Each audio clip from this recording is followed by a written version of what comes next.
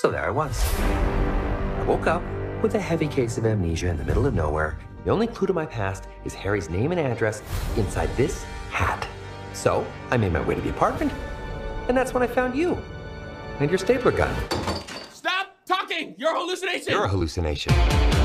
So you're a talking Pikachu with no memories who's addicted to caffeine. I could stop whenever I want. These are just choices. Another round, extra shot, black as night. Thank you, sweetie. I don't know. Maybe Harry got in too deep.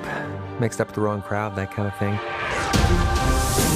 Look, you can talk to humans. I can talk to Pokemon. And if you want to find your pops, we're gonna need each other. No, I don't need a Pokemon. What about a world-class detective? Ah, my clues! What is all this? Harry is still alive. Case closed, but still open until I solve it.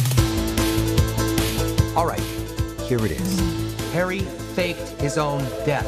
Or somebody else faked Harry's death. Or Harry faked somebody else's death. That last one doesn't work at No. all.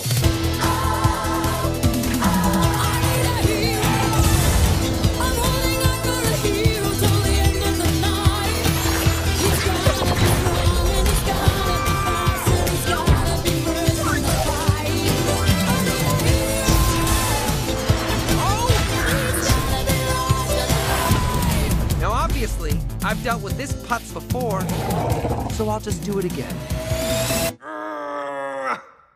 Hey, bud, what are you doing? I can't do it when people are watching. Get me the hell out of here!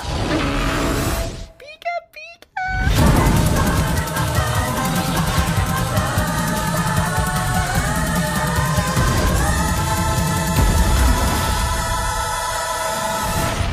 That's a twist. That's very twisty. Get him! He's barely moving. Don't tell him that. Oh, he's on a bike. Quick, get in front of him. Stop. Oh, no. He's going down hard, Tim. Should have worn a helmet.